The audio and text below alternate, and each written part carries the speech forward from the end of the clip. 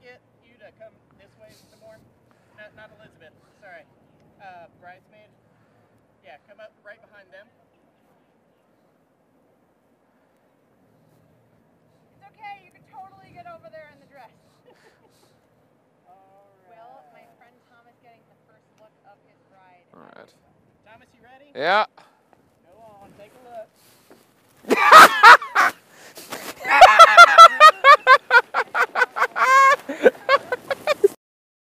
I was really mad that I did this. Fuck. Sorry, Katie's gonna get me out now. Do you want to unzip me? yes, I will unzip you.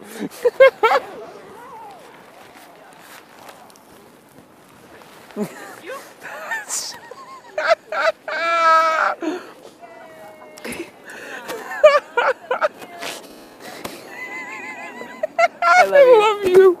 I love you so much. Here, you hold these. Okay, thank you. I love you. Love you too. I love I love you. you. I love you. I've missed you.